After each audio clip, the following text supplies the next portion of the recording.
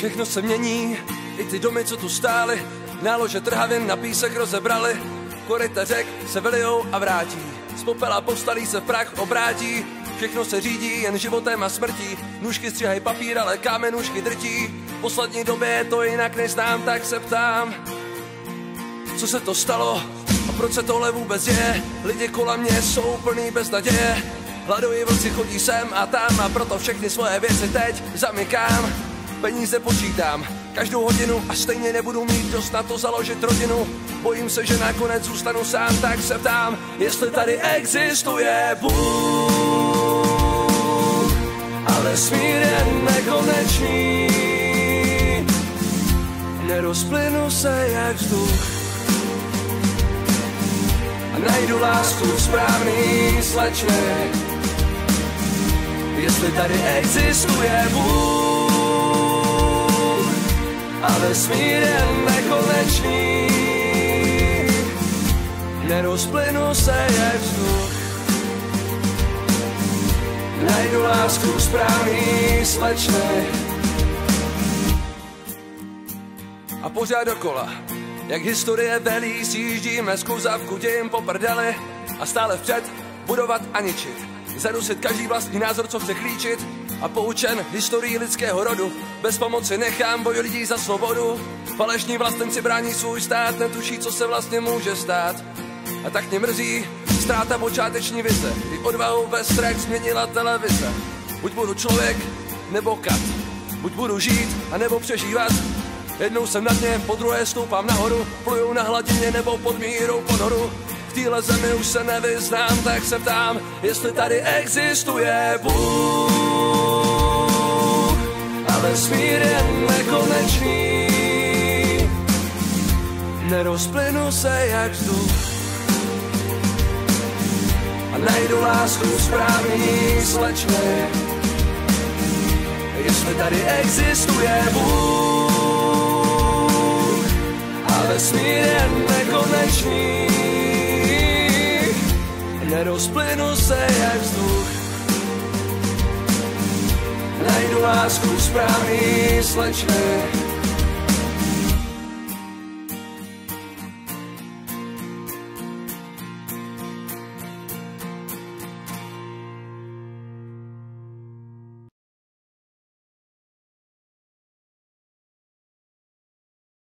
za krásnou vánoční atmosféru a příležitost vám zahrát naší hru, kterou jsme pilně trénovali, snad se vám to líbilo.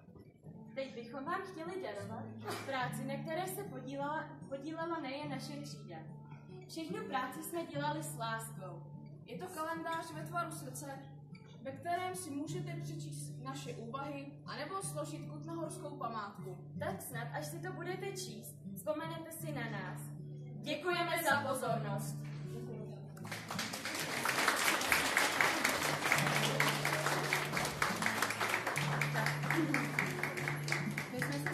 zapojili do projektu Srdce s láskou darované a přemýšleli jsme, eh, jakou formu by to mě, eh, srdce mělo být.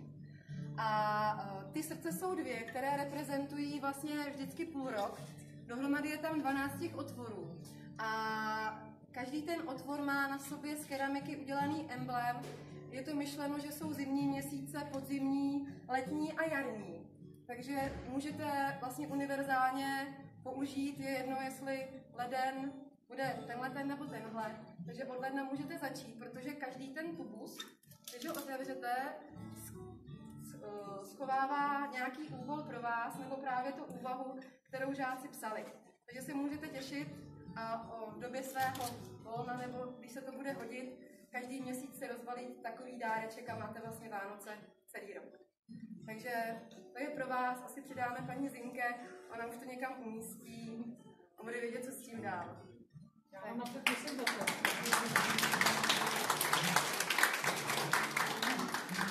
No, eh, mně se bude těžko mluvit, já jsem opravdu dojatá. Vypadá to jako, že jsem si to připravila, ale ne, ne je to zcela spontánní. A já naprosto obdivuju vaši kreativitu. Na to, jak jste měli možná málo příležitostí a času, i když hodně zodpovědnosti v sobě, tak je to úplně úžasný. kostýmy, to, jak se popasujete s tím, že je tady málo místa. Jako to není vůbec jednoduché, když přijdete do prostoru a máte zahrát někde divadlo a nemáte vyzkušený prostor. Muzika úžasná a ještě ten dárek. Prostě jsem naprosto dojatá. Uchovávejte si tu kreativitu celý život. Že ta nás ochraňuje před nějakým stereotypem a před smutkama a před tím vším zlým, co nás potkává. Krásné Vánoce, my pro vás taky máme ještě odměnu. A chci říct obrázky, které jsme dostali od dětí loni. Jestli si vzpomínáte, děti malovali, ještě se vracím eh, zpátky eh, na motivy ladových obrázků a psali k tomu příběhy. Tak jsme tady vystavili na hale a ještě jste si objednali nádherné počasí. Ano. Takže to do sebe úžasně zapadá a živý Betlém bude teda před domem skutečně. Moc vám děkujem, opravdu si toho moc vážím a děláte krásnou práci. Děkuji učitelům za celý domov. Moc jsme rádi, že na nás nezapomínáte.